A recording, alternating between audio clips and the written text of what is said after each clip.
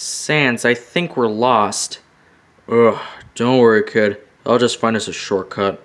No, you're tired. You don't have to. Nah, I got it.